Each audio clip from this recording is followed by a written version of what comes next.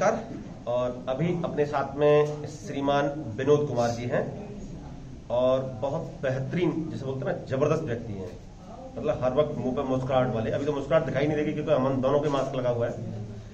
इनको left side में left side back pain था खाली लेफ़्ट साइड में था और हिप में पेन था। और कोई एल फोर एल फाइव में ऐसा कुछ आया था? क्या था?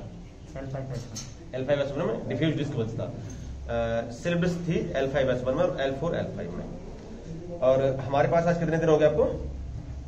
पंद्रह सीटिंग हो आज इनकी टोटल पंद्रह सेटिंग हो गई हैं। ये आपको बताएँगे कि ये कैसे हैं अभी। और मैं फिर बोल रहा हूँ कि स्पाइनल की जो सर्जरी डॉक्टर बोल देता है या जो आपको लगता है कि नहीं हमें सर्जरी की आवश्यकता है तो एक बार देखो सर्जरी तब करानी होती है जब आप दुनिया में घूम लिए। फिर लास्ट ऑप्शन होता है सर्जरी का। नहीं भैया पहले हम दिखा लें। सर्जरी का मतलब होता है कि आप दुनिया में घूम चुके चारों तरफ़ अंधेरा है फिर आपकी कोई रास्ता नहीं मिल रहा तो ही तो सर्जरी करानी है ना। सर्जरी एक गंभीर मसला है। हो सकता है कि आप सर्जरी से पहले ही ठीक हो जाएँ इसलिए आप सर्जरी से पहले एक बार ज़रूर ट्रीटमेंट लें। विनोद जी भाई साहब कैसे हैं आप? मैं जब यहाँ आया था तेज बोलिएगा मैं जब यहाँ आया था उससे पहले मैं नाइट में सो नहीं पाता था करवट लेके या सीधा नहीं सो पाता था। मतलब नाइट में दो या तीन बार मुझे बैठना पड़ता था। अब जब से यहाँ आया हूँ मैंने दिन में दो दो सीटिंग ली है लेकिन अभी मुझे लगता है कि मैं नाइट में अच्छे से सो पा रहा हूँ। मतलब मैं एक बार सोता हूँ तो मॉर्निंग में ही उठता हूँ। हाँ मतलब काफ़ी राहत है अभी तक। और किस पोस्चर पे आपको दर्द होता था? मेरा एल फाइव एस वन नहीं पैर उठाने में लेटने में बैठने में किस पोस्चर पर दर्द होता था? दिखाइए एक बार लेट के मेरे को लेटने में दिक्कत होती है। एक बार लेटिए और पैर उठाइए अपना। देखिए ये लेटेंगे लेटने के बाद में यस पैर उठाइए। जिस व्यक्ति को साइटिका होती है जिसको कमर में दर्द होता है ध्यान रखना वो व्यक्ति इस तरीके से पैर कभी भी नहीं उठा पाता। इस तरीके से। और नीचे देखिए ये वाला राइट वाला पैर उठाइए। राइट में धरा आपको? लेफ़्ट में। लेफ़्ट वाला उठाइए।